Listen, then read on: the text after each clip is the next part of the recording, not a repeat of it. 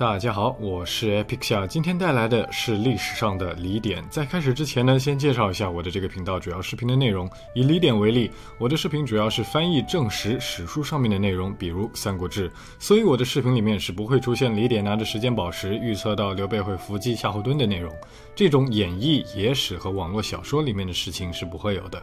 最后，我不会强加任何主观的意见或者看法。李典是个什么样的人，还是由各位看官评论。那么我们开始吧。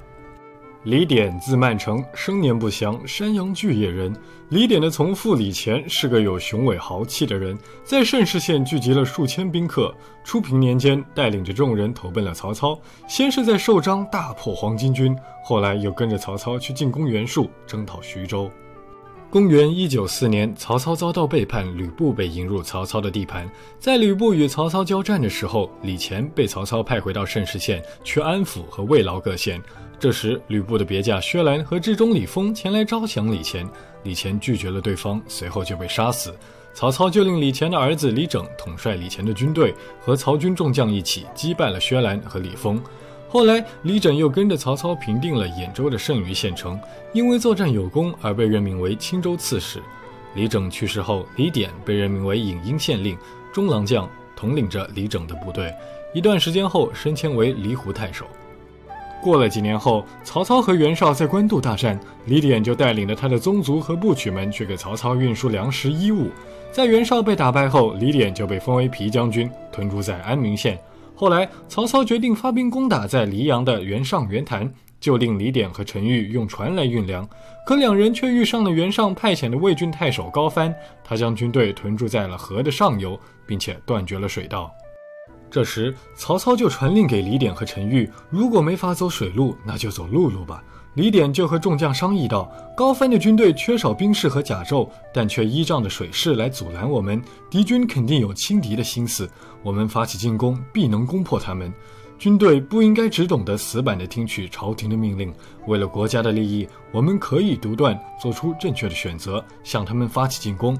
陈玉对李典的话表示赞同，于是他们的军队向北渡河，进攻高帆，大破高帆的军队，水路也通畅了。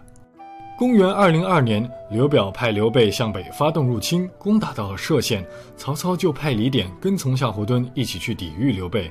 这时，刘备决定撤退，还烧毁了屯驻的营寨。夏侯惇想要带兵追赶，李典劝说道：“敌军无缘无故的突然撤退，我怀疑他们肯定有埋伏。”南边的道路狭窄，草木茂密，不可以追啊！夏侯惇不听，带着于禁追了上去，让李典留守。果然，夏侯惇中了埋伏，在战局不利的情况下，李典出现前来救援夏侯惇。刘备看见敌方的救援已经抵达，就撤走了。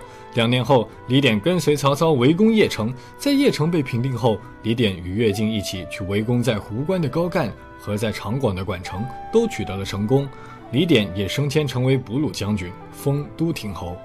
当时，李典的族人部曲三千多户都居住在慎氏县，李典就自愿请求曹操，让他们搬到魏郡。曹操笑着说道：“你是想要学耿纯吗？”李典回答道：“我的性格懦弱，功劳微薄，但爵位和封赏却太过于厚重，所以全族的人都应该来为您效力。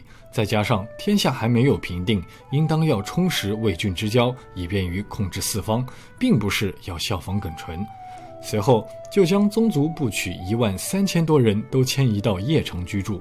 曹操也感到非常的高兴，嘉奖李典为破虏将军。公元二一五年，李典和张辽、乐进驻扎在合肥。这时，孙权带领大军前来围攻。张辽想要奉曹操的命令出战，但乐进、李典、张辽三人的关系一直都不融洽。张辽害怕李典不会听他的，但李典却说道：“这是国家大事，关键在于要看你的计策好与不好。我怎么会因为私怨而忘公义和大局呢？”说完，就和张辽一起领兵击破，赶走了孙权。后来，李典被增一百户，加上以前的，一共三百户。李典是一个喜好学问又注重儒雅风度的人，他也不会和其他将领争抢功劳，尊敬所有的贤士大夫，总怕有礼数不周的地方。军中的人们也非常的敬重他。李典在三十六岁的时候去世，他的儿子李真继承了他的爵位。曹丕称帝后，为了追念李典在合肥之战的功绩。给李真增加了一百户食邑，赐予李典的一个儿子关内侯的爵位和食邑百户，给李典的谥号为闵侯。嘿嘿，